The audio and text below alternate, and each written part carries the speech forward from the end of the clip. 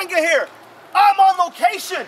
I have been sent down to California to find out when the Cali Crush is coming back to GCPPW.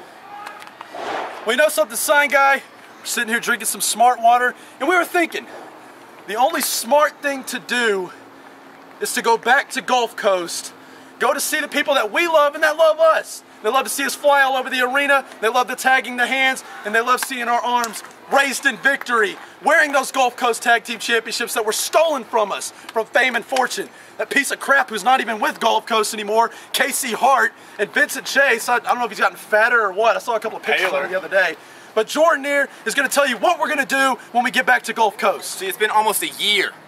November of 2010 was our last time at Gulf Coast Power Pro Wrestling. And this September in the Montagne Center, Cali Crush, Gulf Coast Power Pro Wrestling, uniting once again. And, well, we had explosive results the first time, so what's to stop us from the second time? Can't wait to jump on that flight, get out of California, get back to Beaumont, Texas in the Montagne Center, and Gulf Coast Power Pro Wrestling. Yeah. Lead it!